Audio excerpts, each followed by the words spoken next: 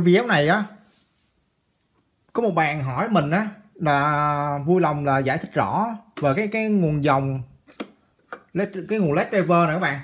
Led driver mà trong các đèn à, led âm trần các bạn led búp á. Các bạn à, muốn là mình à, giải thích rõ cái cái nguyên lý hoạt động của nó các bạn. Thì trong các video trước các bạn, mình đã post các cái video và cái sơ đồ nguyên lý các bạn. Mình giải thích cái sơ đồ nguyên lý của nó nha, sơ đồ mạch đó mình vẽ trực tiếp ra từ từ cái mạch in ờ, của cái ờ, bao nguồn led driver này nha các bạn. Mấy cái mạch này á, bình thường các bạn. Năm trước mình có liệt kê ra, có ba loại mạch nguồn các bạn, cấp nguồn cho đèn led. Thứ nhất là mạch nguồn led driver, là cái dạng mạch này nha các bạn. Còn thứ hai á là cái mạch nguồn hạ áp trực tiếp từ nguồn 220V AC cái mạch này đó nhé các bạn. Mạch này nó nằm trong mấy đèn led bút nha các bạn. Led bút hay là mấy cái đèn led công suất nhỏ. Thì nó đơn giản là nó chỉ có cái một cái tụ gốm nha các bạn. Cái tụ gốm nè, một cái tụ hóa thôi là hai cái con lệnh kiện chính nha các bạn. Còn cái ờ, nguồn thứ ba các bạn, cái nguồn thứ ba là cái mạch nguồn switching nha các bạn. Cái mạch nguồn switching này hoạt động theo nguyên tắc nguồn nguồn sung. Nó y như một cái nguồn của cái cục sạc điện thoại di động nha các bạn. Cái linh kiện, á, linh kiện của nó là là cũng có nha 40 diode nữa các bạn. Chỉnh lưu nè, rồi có hai, một con chánh to dao động nữa các bạn. Tạo xung dao động ha, một cái con kích xung nha các bạn. Rồi có biến áp xung nha. Trong cái, mấy cái này á, mình à, trong video trước mình đã nói rõ rồi nha các bạn còn các bạn muốn sửa từng cái từng, từng loại á mình cũng đã post tất cả trong video nha các bạn. Các bạn tìm à, video trên kênh của mình nha. Ở đây á mình sẽ nói qua về cái vấn đề mạch nguồn led, led driver nha các bạn. Mạch nguồn này á nó có hai nguồn loại nguồn là nguồn nguồn áp nguồn dòng nha các bạn. Cái nguồn áp á, thì nó giữ ổn định điện áp nó ra mà không phụ thuộc vào tải nha các bạn còn nguồn dòng tương tự như vậy, cũng ổn định ổn định dòng điện nó ra nó cũng không phụ thuộc vào tải. Và điện áp các bạn, cái này là nguồn dòng đó các bạn.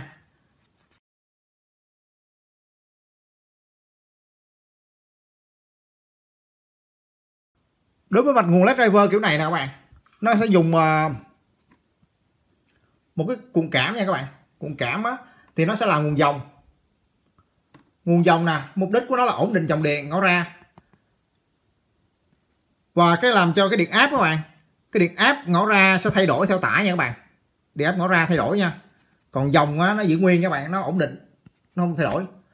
Còn các bạn mà à, học cho lý thuyết trong à, các trường à, dạy nghề các bạn hay trường mấy trường đại, đại học hay là cao đẳng gì á nó sẽ các bạn học vấn đề mà kỹ thuật điện mình tử các bạn mạch điện á nó sẽ ký hiệu nè các bạn cái nguồn dòng là nguồn y nè bạn. Y nè nguồn dòng nè. Cái hiệu bằng nguồn dòng như thế này còn nguồn áp cũng y như thế này nha bạn. Đây là nguồn áp ha đây là nguồn dòng. Thì các bạn nhìn vào sơ đồ mạch điện á nếu mà nó có ký hiệu này á à, các bạn biết đây là cái nguồn dòng nha bạn. Còn cái này là nguồn áp ha cung cấp nguồn cho cho mạch nha các bạn. Thì ờ, trong mạch của mình đó chỉ có hai loại thôi một là nguồn áp hay là nguồn dòng thôi nha các bạn.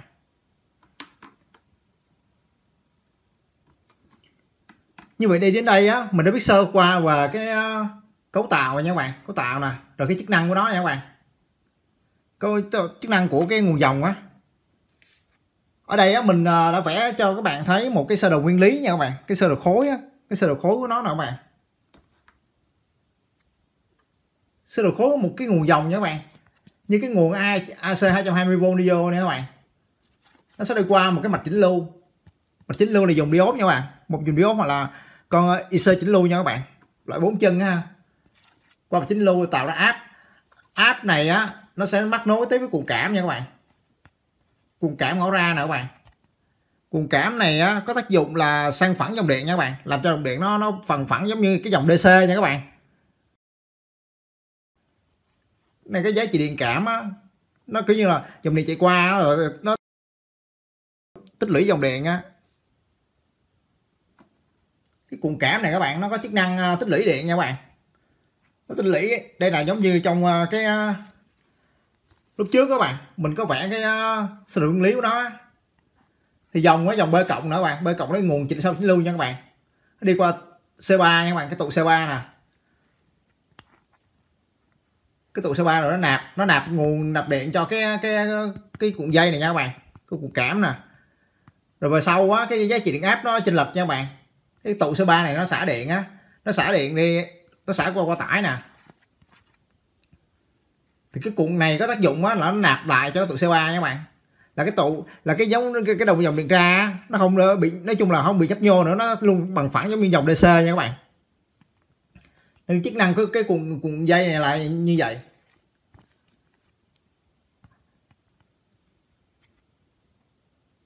Ở đây là mình ở đây là mình chỉ nói sơ qua thôi nha các bạn. Tại vì uh, trong cái video mà giải thích cái nguyên sơ đồ nguyên lý có hoạt động của cái ờ, mình nguồn lá driver mình đã nói rõ rồi nha.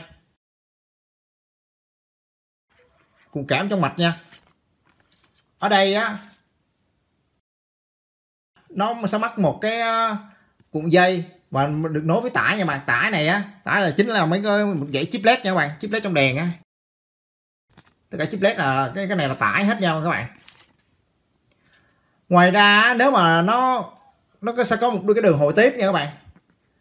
Cái đường hồi tiếp này á, nó sẽ một là nó nó tạo thành cái đường hồi điều khiển điều khiển cho phía trước này. Ví dụ nó là cái mạch nguồn dao động á thì nó sẽ điều khiển dao động nha các bạn. Là nó lấy từ cái điện áp ra nè các bạn. Đường hồi tiếp là nó điều khiển dao động các bạn. Giống y hệt như cái, cái mạch nguồn uh, led driver này. Cái nguyên tắc hoạt động là như y như nhau nha các bạn nên đây á các bạn nhìn trong mạch nè. Rõ ràng nè các bạn thấy không? Ở đây là làm cuộn dây nha các bạn. Cái cuộn cảm cuộn dây này nó chứ không phải là cái biến áp xung giống như trong trong cái mạch nguồn uh, nha các bạn. Bên bên ngoài á, nó có nhìn hao hao giống nhau thôi. Nhưng mà ở đây á các bạn phân biệt nè. Ở đây là đây nha các bạn. Hai chân. Cái này bộ cái chuối chú bốn chân nhưng mà chú ý là có cuộn nó chỉ là một cuộn dây chứ không phải là cái biến áp xung nha các bạn. Còn đây đây là cái biến áp xung biến áp xung này có sẽ có ba cuộn dây nha các bạn. Sáu chân. Đây là để mà lấy cái cái mặt này nó cho các bạn rõ hơn. Đây là cũng uh, ờ, nguồn switching trong cục sạc uh, điện thoại di động nha các bạn. Đây các bạn thấy không? Một cái dây qua cuộn dây á cuộn dây của nó là có ba ba cuộn dây nha các bạn. Một cuộn dây uh, sơ cấp cái cuộn dây thứ cấp còn cuộn dây hồi tiếp. Nói chung là sáu chân là ba cuộn dây nha các bạn. Chính là cái à, uh, biến áp sung ha. Còn trong cái mặt nguồn led driver là cái này chỉ là cuộn dây nó tác dụng là tích trữ điện thôi chứ nó không có phải là cái biến áp sung nha các bạn.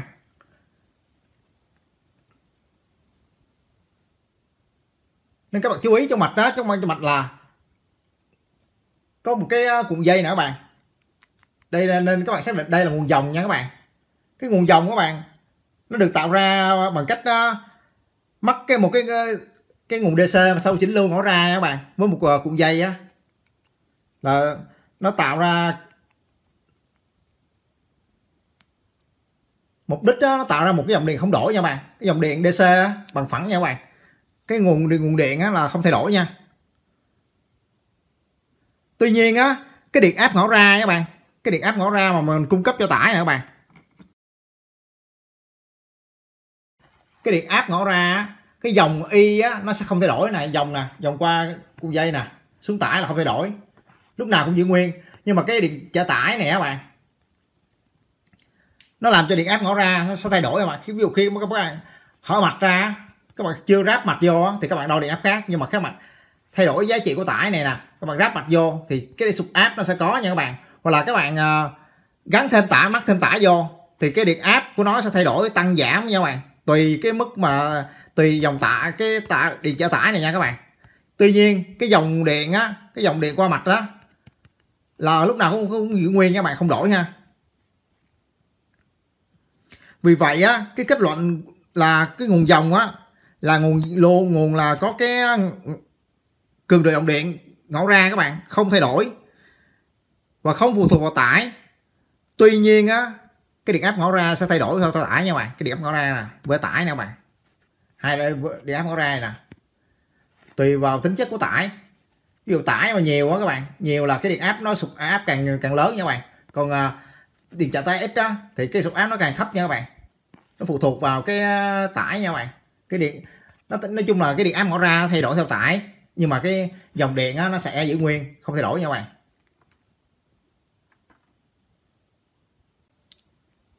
Để, để mình giải thích rõ, rõ thêm nha các bạn.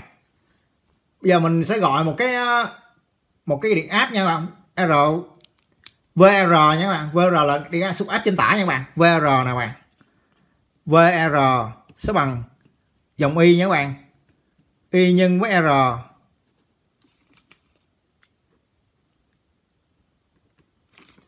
đây là các bạn. VR là xúc áp trên tải nha các bạn.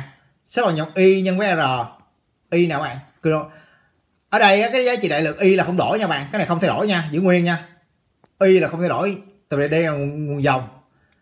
Tuy nhiên á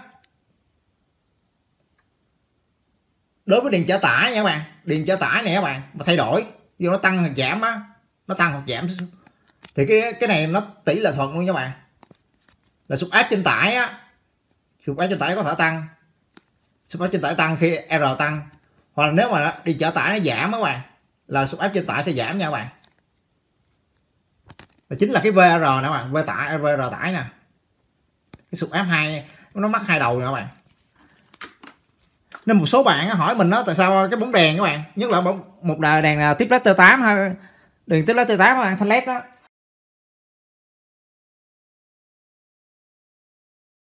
hỏi các bạn các bạn hỏi là cái tiếp nối T8 thanh led này à? hoặc là cái đèn led búp nha các bạn. Khi á, mà mình à, mắc không tải vô. Khi cái nguồn led driver này á, mình mà, mà đo không tải các bạn là cái giá trị điện áp nó cao các bạn. Nó tầm là khoảng uh, hơn 200 nha các bạn. Khoảng 200V hoặc là 285V mà khi mà tại sao á, lúc đầu á cái điện áp nó cao nhưng mà khi mình mắc tải vô các bạn mình mắc tải vô thì à, cái điện áp nó sụt áp các bạn đo trên mạch đó, nó còn khoảng 110 nè hoặc là 110V hoặc là 80V à, thôi nha các bạn. DC khi mà có tải có tải là cái đèn là mấy chip led này nó sáng hết nha các bạn. Thì cái đây à, theo cách đây là mình đã, đã giải thích rồi nha. Nó sụp áp đường nguồn nha các bạn nó sụp áp này nè sụp áp của của điện điện trở tải nè. Khi khi mà đèn led nó sáng các bạn khi mà bạn mắt vô mạch đó là cái sụp áp này sẽ có nha các bạn. Sụp áp này nè. Dòng thứ qua. VR sẽ bằng uh, Y nhân R. Còn nếu mà các bạn uh, theo cái uh, gì đó nha các bạn khi mà các bạn mắc một cái cái này mà tải thứ nhất đi tải thứ nhất mà các bạn ví dụ uh, nó ra sụp áp vậy đó các bạn cái điện áp tơi tải là cái giá trị là V1 nha các bạn ví dụ đo được các bạn đo được giá trị V1 nếu các bạn mắc thêm gắn thêm sẽ lấy chip led cho đây các bạn. Nó sẽ thay đổi nha các bạn. Các bạn nếu mà các bạn ờ, ví dụ mình đo ở đây là giá trị V1 nha các bạn. V1 đó các bạn. Ờ, em đo được giá trị V1 là lúc mà gắn một cái ờ, chip led này thôi nha. Cái cái module led này thôi. Rồi còn nếu mà các bạn thay đổi thêm các bạn thêm một uh, thêm một số led trên đây nữa là cái tải cái điện trở tải nó thay đổi nha các bạn. Nên nó sẽ tăng nó tăng hoặc giảm nha các bạn.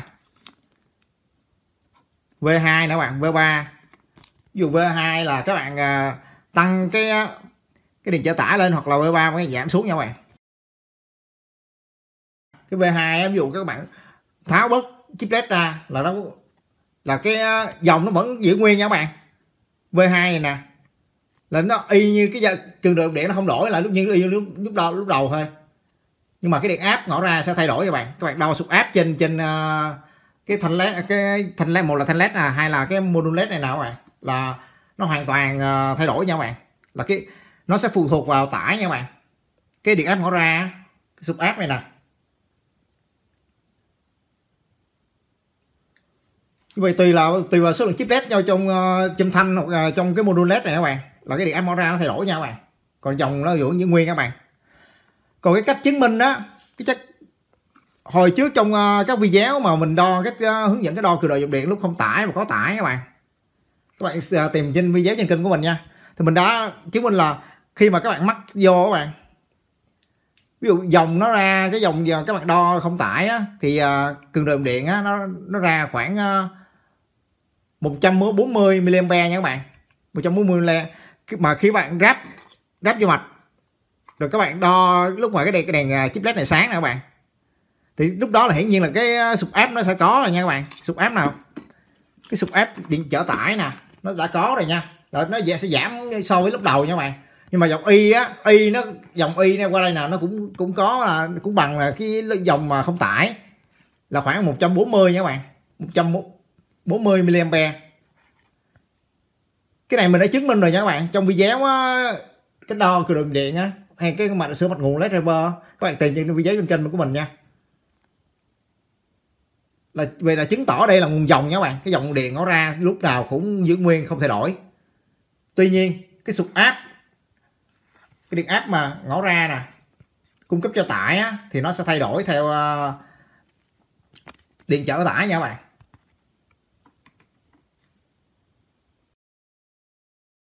Có nghĩa là cái điện trở này càng lớn á. Các bạn mắc thêm vô mắc thêm ví dụ cái đèn led này là các bạn mắc thêm chip led vô là các bạn đã tăng cái điện trở này lên rồi. Tăng điện trở này lên thì cái điện cái sụp áp trên VR này sẽ sẽ lớn nha các bạn. Còn à, trường hợp mà các bạn tháo chip led ra các bạn chip led này các bạn tháo ra như cái trường hợp V3 nè các bạn tháo chip led ra thì cái sụp áp nè các bạn VR là sụp áp ha. Các bạn đo được nó sẽ giảm nó giảm giảm xuống nha các bạn nói chung là cái điện áp ngõ ra của tải nó sẽ thay đổi nha các bạn. Tùy theo tải, nhưng mà dòng ngõ ra, lúc nào cũng hơi không thay đổi, vẫn luôn là trọng y, lúc có tải mà không tải, y hệt như vậy nha các bạn. Như vậy trong video này nha các bạn, mình đã giải thích cho một số bạn nha và cái nguồn cái hoạt động của nguồn dòng nha các bạn. Tại, mà tại sao á, cái nguồn led driver nên là nguồn dòng nha các bạn? Một số người không biết người ta sẽ hỏi. Và đồng thời á, các bạn à, phân biệt á, nếu mà các bạn trông thấy trong mạch á, đây là cuộn cuộn dây nha các bạn. Cái bốn chân này thực thực chất là chỉ có hai chân thôi các bạn. Hai chân này là cái này cuộn dây thôi ha. Là các bạn xác định đây nguồn dòng các bạn, cái nguồn led driver ha. Trong cái đèn à, led bút nào các bạn? Led bút hoặc là đèn nó âm trần á. Còn đối với à, những cái mạch mà các bạn mở ra bên ngoài nó cũng ghi ờ, cái bon nguồn led driver này nha các bạn. Mở các bạn mở ra. Các bạn nhìn thấy cuộn cái này là các bạn để ý nha cái chân các bạn lật ngược cái bo lại. Các bạn để ý chân nè. Cái này có 6 chân nha các bạn 6 chân là ba cuộn dây á. Là các bạn cái cái này là biến áp xung nha các bạn. Là cái ờ, thì cái mạch này á đó đó chính là cái mạch nguồn ờ, uh, switching nha các bạn.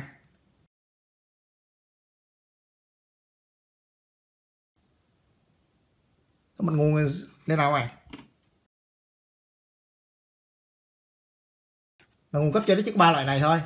Cái nguồn led driver thì người ta thường dùng IC nha bạn. IC dao động ha. Có bạn nguồn switching nè các bạn. Nó dùng biết gấp xung nha các bạn. Là mấy con biến gấp xung là sáu chân nè các bạn. Giống như y như cục sạc, trong cục sạc các bạn rồi sửa cách sửa là thì các bạn à, có thể tham khảo vô à, cái mấy cái video clip và cách sửa sạc đó các bạn sạc điện thoại đó trong kênh của mình nha. Rồi video của mình uh, nói về cái mạch nguồn led driver đến đây là kết thúc nha các bạn. Và các bạn có ý kiến thắc mắc gì các bạn cứ đỡ lại comment dưới video nha. Mình sẽ support hỗ trợ cho các bạn nha. Hẹn gặp lại các bạn trong video kế tiếp nha. Chào các bạn.